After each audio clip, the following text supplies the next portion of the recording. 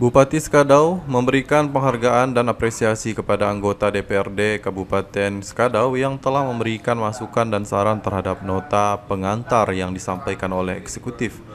Apresiasi ini disampaikan Bupati secara tertulis yang dibacakan oleh Sekda Muhammad Isa dalam rapat paripurna ke-21 masa konferensi ke-1 dengan agenda mendengarkan jawaban Bupati Skadau terhadap pandangan umum semua praksi tentang nota pengantar yang disampaikan.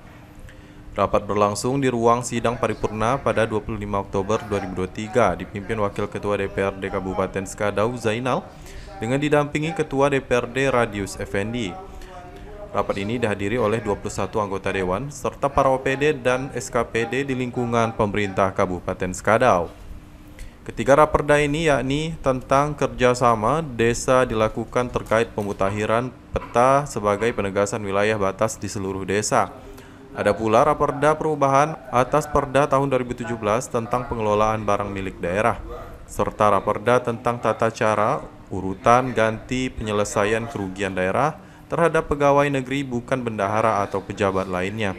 Antar atas rancangan peraturan daerah tentang satu kerja sama desa, dua perubahan atas peraturan daerah nomor 5 tahun 2017 tentang pengelolaan barang milik daerah.